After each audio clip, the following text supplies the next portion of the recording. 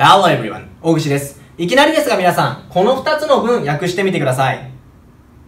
まあ一番は簡単ですよね。I paid 500 yen. 私は500円払ったんだ。for it. まあそれに対してという感じ。じゃあ2番どうでしょうか ?For the life of me, I can't remember his name. これ、まあ結構難しくてですね、この中に含まれている for the life of me という表現を辞書で引くと、通例 can't とか couldn't などとともに、どうしてもほにゃららできないって意味だって書いてあるんです。ですから、これは、私はどうしても彼の名前を思い出せないって意味になるんですが、これ、パッと見、意味がわからないですよね。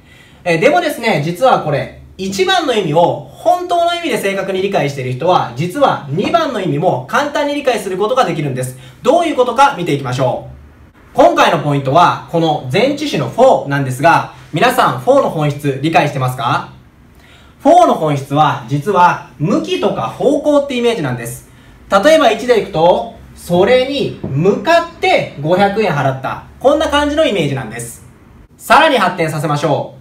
これ、それに向かって500円払ったということは、500円とそれを交換してるようなイメージにも思えますよね。ここからですね、前置詞の方には、交換という意味もあるんだという風に思ってください。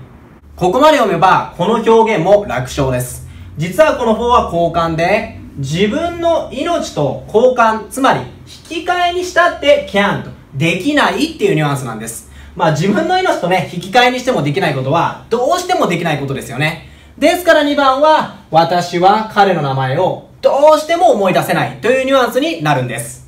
4をノリで読んでしまわずに、本質を大事にすることで、ここまで深く読むことができるんです。ですから、これからも本質を大事に勉強していきましょう。Sure to give me a thumbs up and subscribe to my channel. See you next time. Take care.